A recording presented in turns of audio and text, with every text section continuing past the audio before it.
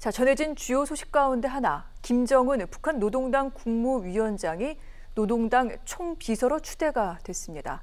당 위원장에서 이제 총비서로 바뀐 건데 이게 어떤 의미가 있는 것인지 또한 주목해야 될 내용은 무엇인지 궁금한데요, 소장님. 네, 간단히 말씀드리면 북한 어, 노동당은 이제 45년 10월에 창단이 돼서 네. 66년까지는 위원, 위원장제로 갔습니다.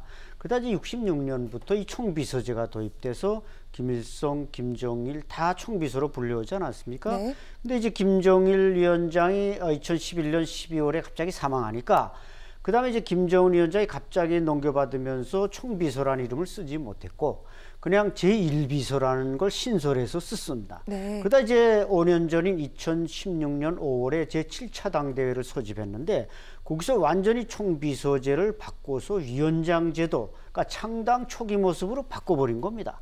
그러다가 이번에 또 5년 만에 그걸 해보니까 별로 이게 리더십의 효율성도 없고 또 이름에서도 이제 좀 올드한 맛이 나니까 네. 이번에 총비서로 복귀한 건데 이것은 뭐 그런 역사적 의미와 함께 자기가 이제 김정은 위원장이 김일성, 김정일과 똑같은 당의 최고 용도자다 이런 걸 이제 과시하는 의미도 있습니다. 아 그렇군요.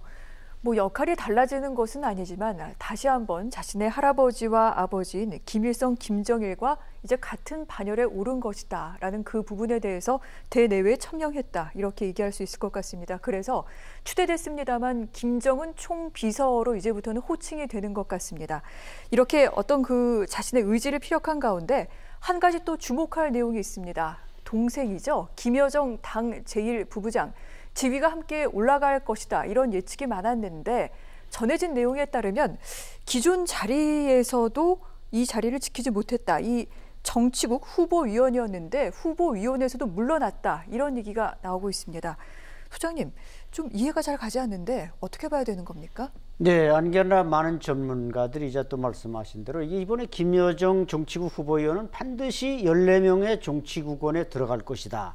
이렇게 예상을 했는데 정치국 후보위원 명단에서마저 그 사라졌습니다. 네. 그래서 이게 강등이냐 뭐이냐 이게 논란이 많습니다만 제 개인적인 생각으로는 지금 노동당 지금 8차 당 대회가 진행되면서 참 있으면 이 사람들이 거의 다 최고인민회의 대의원이니 까 우리 국회의원과 같은 또 최고인민회의가 어, 이제 연달아 열립니다. 네. 거기서 아마 김여정에게 뭔가 국가직, 그러니까 노동당직에서는 좀 밀렸지만 국가직에서 뭔가 새로운 무거운 권력을 주어서 지금 뭐 사실상 2인자 아니겠습니까? 그 2인자의 지위를 보장해 주려는 것은 아닌가. 이렇게 지금 예측은 하는데 그건 또 최고인민회의가 열리고 나서 우리가 봐야 할 일이지 그때 최고인민회의가 열렸는데도 아무 자리도 안 줬다. 네. 그러면 이것은 우리가 지금까지 김정은의 뭐 대리인이다 뭐이다 해왔는데 거기서 완전히 밀어낸 게 아닌가 이렇게 어, 결론 내릴 수는 있습니다. 아 그렇군요.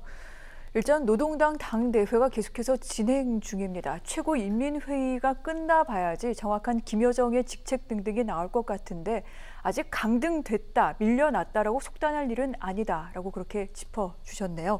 아울러 김여정 같은 경우에는 뭐 김정은의 동생이고 또 백두 혈통이기 때문에 이번에 물러나더라도 계속해서 뭐 주요 요직 같은 그런 의사 결정 과정에는 참여할 것이다라는 그런 해석도 나오고 있는데 이 부분은 계속해서 좀 지켜볼 부분인 것 같습니다.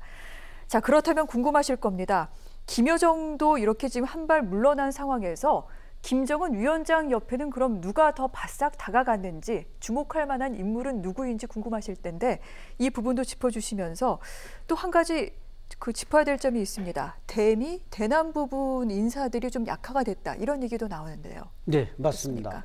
아, 이번에 아마 가장 그 약진한 사람이 이제 조용원 조직지도부 일부 부자인데 네. 이번에 이제 그 말하자면은 박봉주 상무위원, 그러니까 노동당의 최고 정점에서 최고 높은 사람이 다섯 명의 상무위원입니다. 네. 이제 김정은, 최용해, 이번에 이제 조용원 또 박저 뭐야 저저 그 총리가 들어가고 이병철 노동당 군사위원회 부위원장이 들어가는데 김덕훈 총리와 여기서 이제 그 박봉주 전 총리를 밀어내고 네. 이 조용원이 거기 들어갔는데 들어간 걸로 끝난 게 아니라 그 상무위원 서열 다섯 명 중에서 일약 그 최용해 상임위원장 다음으로 조용원 이 상무위원이 된 겁니다. 네. 그래서 아마 이것은 노동당 안에서도 또 노동당이라고 불리는 조직 비서로 임명된 게 거의 확실하다. 이렇게 부르고 또 김정은 위원장 시대 들어와서 가장 김정은 위원장이 충복으로 보는 사람이 바로 조영원 부부장이었습니다. 네. 그래서 이번에 이렇게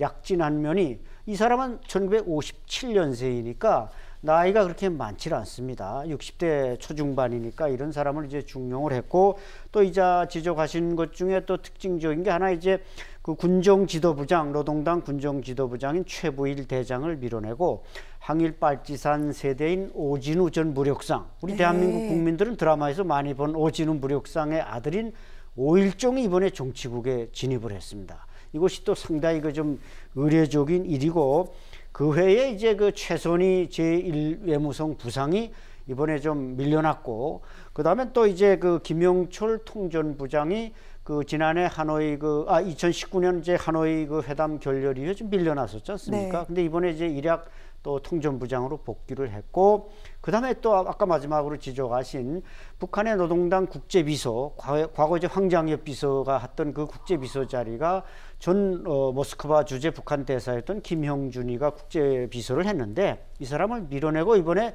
중국 통인 김성남 아, 국제부 부부장이 이번에 국제 비서로 또 이렇게 올라왔습니다. 네. 이런 걸 보면 북한이 당분간 미국과 이 바이든 행정부나 우리 대한민국과는 좀 거리를 두고 그 밧줄은 일단 놓고 중국 밧줄을 탄탄히 틀어 잡으려고 하는 것은 아닌가 이렇게 분석할 수 있습니다. 그렇군요. 이 같은 인사 뭐 등등이 전해지고 난 뒤 바로 발 빠르게 시진핑 중국 국가주석이 축전을 보냈다라는 그 사실을 또 노동신문에서 크게 보도하기도 했는데 향후 어떤 그 중국과의 관계에 더 힘을 쏟으려는 북한의 의중을 읽을 수 있는 그런 인사다. 여기까지 짚을 수 있을 것 같습니다. 한편 노동당 대회 등등 이 중요한 행사 대회가 열릴 때마다 북한은 열병식을 거행하곤 하는데 이 노동당 대회가 열리고 있는 만큼 열병식 어떻게 진행될지가 상당히 관심입니다. 그런 가운데 이런 보도가 하나 있었습니다. 조선중앙통신의 보도인데 이 노동당 대회 기념 행사에 특별 손님들을 초청했다. 이렇게 얘기가 나왔습니다. 이 부분을 왜 말씀드리느냐 하면 지난 주말쯤 해서 이 북한에서 심야 열병식이 열린 정황이 있다라고 우리 합동참모본부가 밝혔습니다. 그런데 알고 보니 이 초청한 부분 등등을 미루어 짐작했을 때 이때는 연습이었을 거고 앞으로 열병식이나 어떤 그 대회가 열릴 가능성이 높다. 지금 이렇게 보이고 있는 중인데 수장님 어떻게 생각하십니까? 네, 그 열병식이 준비된 곳은 아닌 게 아니라 그 미국의 38로스에 다 촬영이 돼서 네. 김일성 광장에 그 넓은 광장에 이렇게 주민들 뭐 수백 명이 동원돼서 결사옹이라는 글자까지 다 이렇게 그 말하자면 만들고 그랬거든요. 근데 이제 지적하신 대로 이게 예행 연습이었는지 이미 했는지 그건 정확히 밝혀지지 않는데 아마 안, 안 하지 않았는가. 이게 노동당 대회가 지금 폐막이 되면서 결정서가 채택돼야 이게 폐막되는 건데 거기에 맞춰서 이 아마 열병식을 하되 네. 사이즈는 지난 노동당 창당 75주년 10월 10일 때처럼 뭐 크게 하는 것이 아니라 이번 당대회를 말하자면 경축하는 정도 규모로 네. 진행될 것이고 그게 바로 이제 지적하신 말하자면 그 원로들 당에서 이번에 세대 교체가 대폭 되다 보니까 네. 밀려난 사람들 이런 사람들이 이제 초청해서 약간 이제 위로 잔치 비슷하게 또는 이제 신형 무기들 같은 걸 공개함으로써 노동당이 이렇게 위력을 떨치고 있다 이런 걸 네. 과시하는 정도에서 진행하지 않을까 그렇게 저도 예측합니다. 아 그렇군요.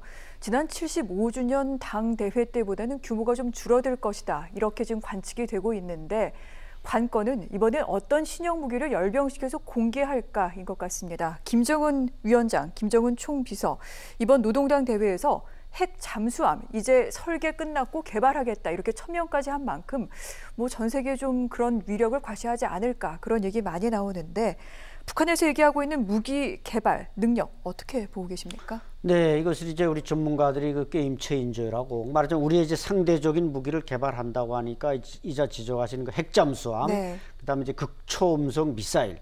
그러니까 우리가 이제 F-35 말하자면 우리 스텔스기가 작년에 한 열석 대 들어왔고 올해까지 한 30대 들어오지 않습니까? 이제 전체가 한 40대가 들어오는데 이것을 북한은 상당히 두려워합니다. 그러다 보니까 거기에 대응하기 위해서 선제 공격할 수 있는 핵잠수함을 만든다, 극초음속 미사일을 만든다고 하는데 사실 제가 볼 때 저는 군사 전문가는 아닙니다만은 이것은 좀 하나의 그 종이장에 페이퍼에 적어진 내용을 읽은 것이 아니냐.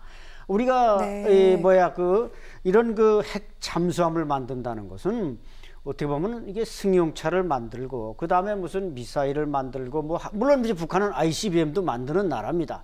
그러나 갑자기 북한이 대한민국도 못 가진 핵 잠수함을 만든다 이것은 조금은 과장된 네. 북한의 어, 풍이 아닌가 이런 생각도 듭니다.